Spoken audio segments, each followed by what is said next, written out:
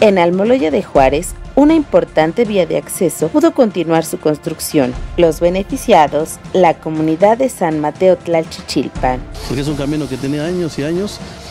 Este camino comunica con otro pueblo, con la escuela de bachilleres. Entonces, pues ya ni los taxis querían entrar, ya los carros no se podían pasar. No, no, era un, un caos, pues. 800 metros de mezcla asfáltica, favoreciendo el tránsito de los habitantes. En tiempos de de aguas, se hace mucho lodo, toda el agua se viene por el, por el plena calle y no se puede pasar. Entonces ahorita pues estamos contentos. Petición que después de varios años fue escuchada y atendida. Van más de 15 años de que hemos estado insistiendo en este camino.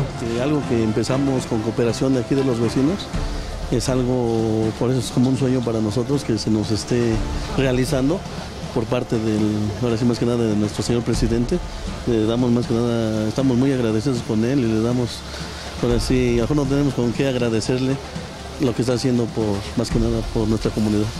Porque es un camino que tiene años y años.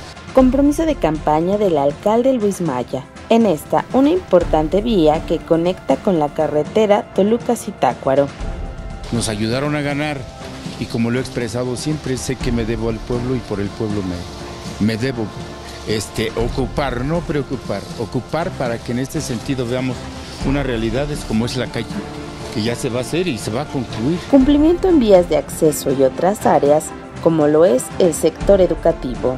Vamos a construir aquí la escuela preparatoria, que también tantos años tiene que la están gestionando y que aquí ya les informé también a las vecinas y vecinos de que aquí tendremos un importante CECITEM como aquellos que están en la ciudad de Toluca únicamente.